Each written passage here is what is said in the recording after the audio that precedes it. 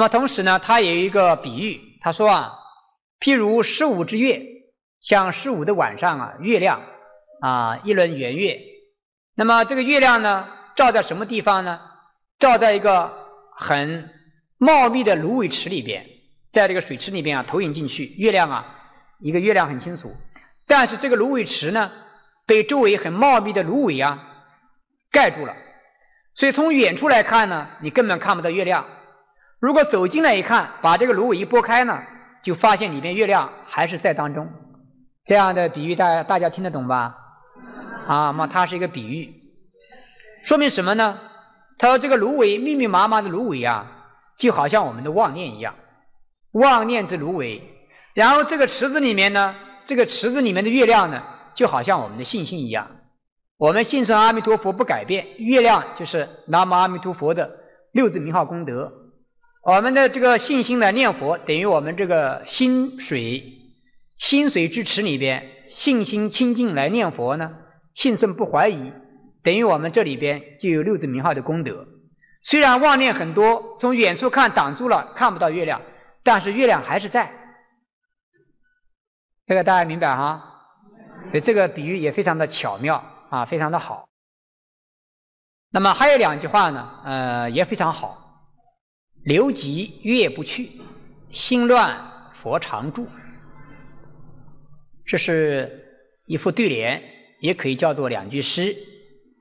流急月不去，就是天上的月亮啊，投射在呃这个小溪流河池当中。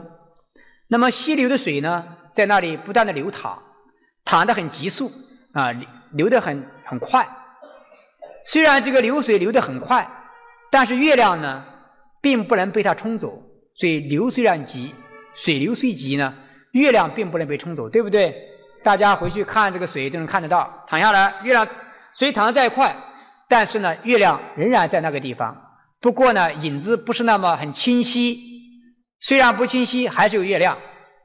那么这个快速的流水啊，就代表我们的心啊，这里想那里想，心念呢纷乱。心虽然乱，可是我们心中呢还是有南无阿弥陀佛，所以心乱佛常住。虽然有妄想，像那水波一样流淌，但是我们内心里边阿弥陀佛救度之愿，对阿弥陀佛的养性，这句南无阿弥陀佛名号仍然在我们心中，忘也忘记不了，是不是这样？哎，我们也不会因为睡个觉起来忘记了。我们睡醒了起来还是南无阿弥陀佛，所以昨天晚上睡一晚上也没有，也不是说不存在，只不过我们呢，呃，睡着了，反复忘记了。但是忘记不是永远忘记了，起来了又出来了，哎，就是如此。我们读再多的经典，啊，背再多的这个法语咒语，到临终的时候啊，都用不上，都不记得。记得也排不上用场。说到临死再诵一遍、诵一部经，这个不是那么容易的事情啊。那么只有这句南无阿弥陀佛呢，很容易。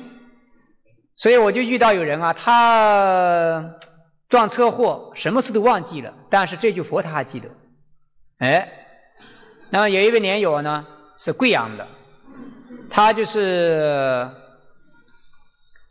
呃，就是我上次讲的那个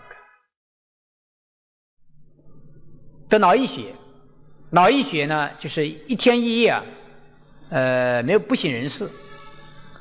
结果呢，他一天以后醒来之后啊，第一句脱口而出的就是阿弥陀佛。然后他告诉人家说呢，这一天一夜当中啊，他已经见到了极乐净土，见到阿弥陀佛了。这个是是一个瞎子呢，还是一个瞎子？